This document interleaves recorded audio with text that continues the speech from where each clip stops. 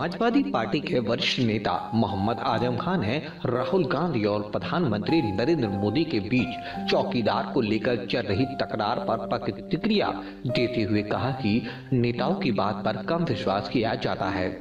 लेकिन एक भरोसेमंद अखबार ने चौकीदार को चोर करार दिया है। उत्तर प्रदेश में शराब से हुई मौतों पर व्यंग करते हुए आज़म खान ने कहा कि जब प्रदेश सरकार के मंत्री और आला अधिकारी शराब के शौक में मदहोश होंगे तो फिर जनता क्यों ना शराब पिए और फिर क्यों इस तरह के हादसे ना हो? आज़म खान रामपुर में मीडिया से रूबरू थे। राहुल गांधी के बार बार चौकीदार चोर है कहकर प्रधानमंत्री मोदी पर निशाना साध रहे और उनके पलट में प्रधानमंत्री द्वारा सदन में ये कहे जाने की उल्टा चोर चौकीदार को डांटे समाजवादी के पार्टी के नेता ने कहा कि नेताओं की बात पर भरोसा छोड़िए लेकिन एक विश्वसनीय एक अखबार का कहना है कि उस उसको ध्यान दीजिए वह तो उनको चोर कहता है। आइए सुनते हैं और क्या कहा आज़म खान ने। ठेके शराब के तो सरकार देती है योगी जी की सरकार ने दिए हैं।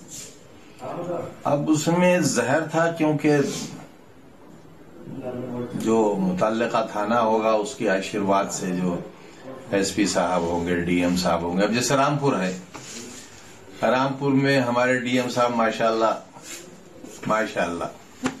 हमारे मंत्री जी, माशाल्लाह, क्या कहने?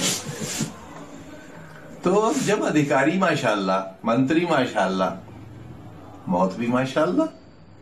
अब इसमें योगी जी क्या करें, अगर कोई जिलाधिकारी शौक करे? कोई मंत्री शौक करे जनता क्यों ना करे?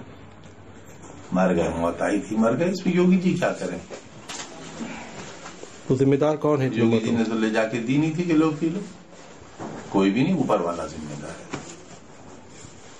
परमात्मा। उनकी मौत लिखी थी।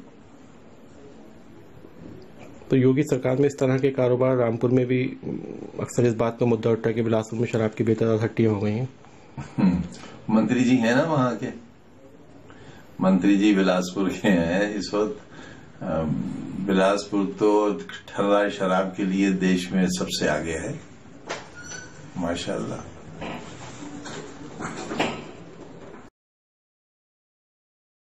असल में नेताओं की बातों पर कम यकीन करते हैं।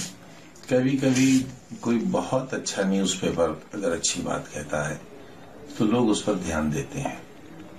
द हिंदू एक अंग्रेज़ी का बड़ा अखबार है, हिंदुस्तान का सबसे बड़ा अखबार है।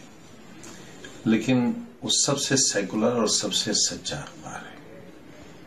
उसने किसी को चोर लिखा है। आर्टिकल भी आया है और उनकी अपनी राय भी आई है। अब उसमें जिसे चोर लिखा है भाई देश तो उसी को चोर मानेगा।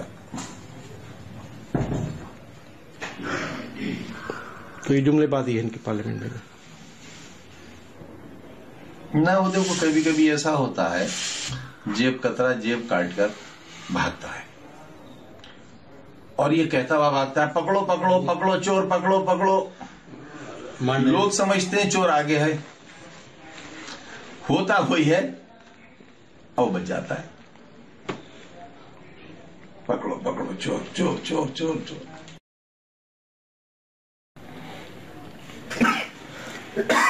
आज़म भाई राहुल राहुल गांधी ने कहा है कि अगर हमारी सत्ता आती है तो हम तीन तलाक का जो बिल है वो खत्म कर देंगे।